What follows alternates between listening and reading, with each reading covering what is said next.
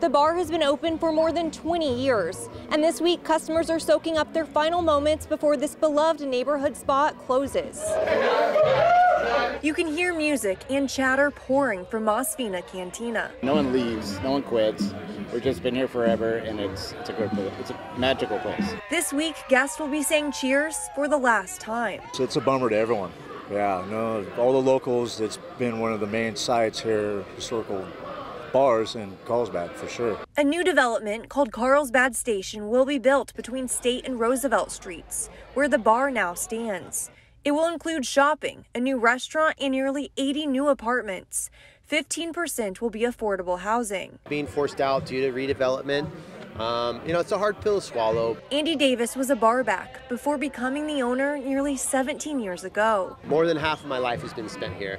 And, you know, here at the Cantina, we have a motto called My Other Home. It's just, it just really feels like you're home. He plans to pour the bar's character and sense of home into a new location. We are going to redevelop a new property. We're in the mix uh, talks of that right now.